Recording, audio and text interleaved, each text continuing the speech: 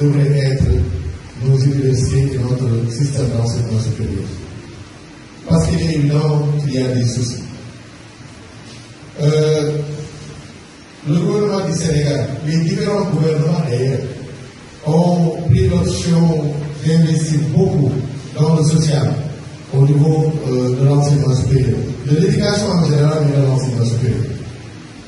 Mais euh, ces efforts louables n'ont pas permis d'atteindre les résultats escomptés pour euh, atteindre un niveau de qualité satisfaisant dans l'enseignement supérieur. Aujourd'hui, euh, moi, je fais partie des gens qui ne sont pas convaincus qu'il faut continuer, par exemple, à faire des efforts dans l'octroi de bourse pour aider les étudiants à aller à l'étranger. J'ai à mes côtés M. Ousmane Thibault, qui, euh, pendant plusieurs années, a été le, directeur du bureau de gestion des étudiants sénégalais à l'étranger. C'est une structure qui est basée à Paris et dont euh, la fonction essentielle est la gestion des bourses étrangères. Et à l'époque, j'avais travaillé avec lui pour étudier un peu euh, le flux d'étudiants et on, avait remarqué que le Sénégal dépensait énormément d'argent pour envoyer ses étudiants à l'étranger, notamment dans les meilleures universités, dans des filières parfois scientifiques, mais que le taux de retour de ces étudiants était extrêmement faible. Ça veut dire quoi? Ça veut dire que finalement, nous entretenons euh, la formation des élites des pays étrangers, notamment européens. Nous formons des élèves jusqu'au baccalauréat, nous employons des bourses d'excellence, ils vont à l'étranger, nous les entretenons sur les meilleures filières au monde et très peu d'entre eux reviennent au pays.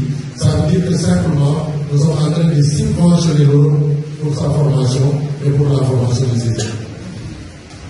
Je pense que ce n'est pas acceptable pour le pays.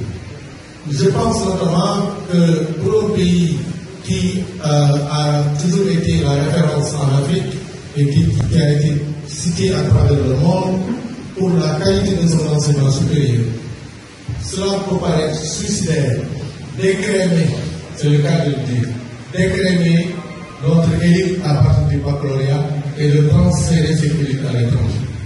Le gouvernement et les parents s'évertuent à les encourager, à les aider à aller à l'étranger. Ça veut dire qu'à terme, si nous parvenons à envoyer tous nos meilleurs élèves à l'étranger, dire que nous devons nous contenter euh, d'avoir des universités qui ne vont accueillir que la moyenne en termes de niveau. Et ça, ce n'est pas acceptable pour un pays qui va atteindre la qualité. Un pays qui doit se distinguer par l'excellence.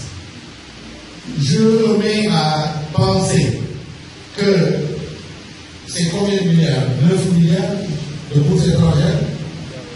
9 milliards et presque 10 milliards qui sont affectés pour financer l'envoi de nos étudiants à l'étranger pourrait en partie servir à renforcer nos meilleures écoles d'ingénieurs qui avaient fait beaucoup de, euh, qui avaient connu beaucoup de succès dans le par le passé.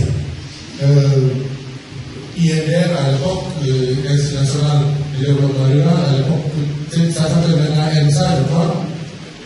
Euh, école politique de Thiès à l'époque, euh, l'école des vétos, euh, les médecins militaires, etc., étaient des références en Afrique.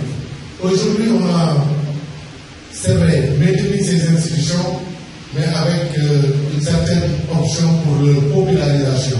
Autrement dit, pour l'accès de beaucoup d'étudiants, beaucoup plus, ce n'est pas mauvais, mais malheureusement, les moyens n'ont pas suffi. Et je mets à croire que autant il est important d'aider certains dans les filiales qui n'existeraient pas au Sénégal, de les envoyer à l'étranger, autant il est important de réorienter une partie de ces ressources vers le renforcement de la qualité de nos écoles d'ingénieurs et de nos écoles d'élite.